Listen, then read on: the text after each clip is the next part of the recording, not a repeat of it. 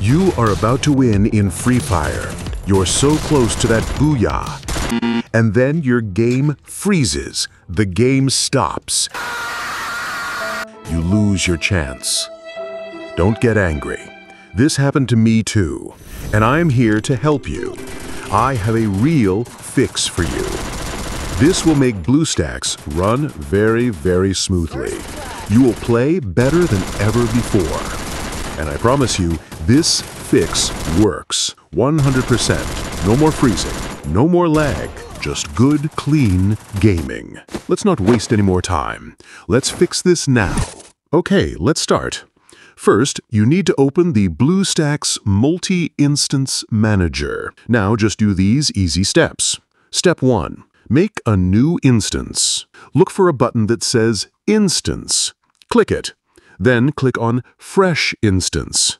This gives you a fresh, clean start. Step 2. Pick an Android version. This part is very important.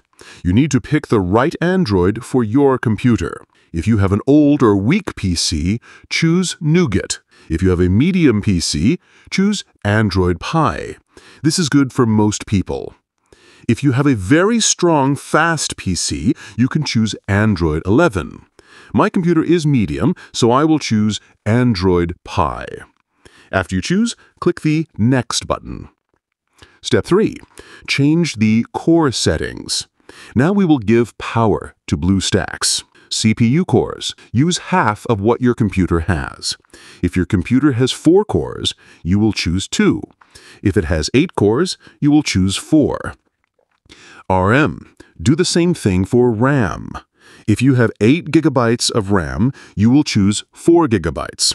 I have 16 gigabytes, so I will choose 8 gigabytes. Always use half. Step 4. The secret setting. ABI. Listen carefully. This is the most important secret. Find the ABI setting. Click on it and choose Custom. Now you will see many boxes with check marks. Click to remove all the check marks. Only leave a check mark on ARM 32-bit. I will say it again. Only keep ARM 32-bit checked on.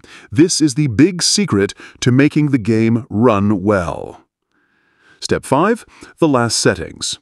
Performance mode. Change this to high performance because you're playing a game. DPI, screen look. Choose 240 or 320. This will make your game look clear and good. It will not make your computer work too hard. And that's all. Now just click the Download button. You will see a new BlueStacks start to download. After it is finished, you can install Free Fire there. You will see the change right away. No more freezing, no more lag, no more problems. Your game will just work perfectly. So, that is the fix. It is simple, but it works very well. If this video helped you, please click the subscribe button.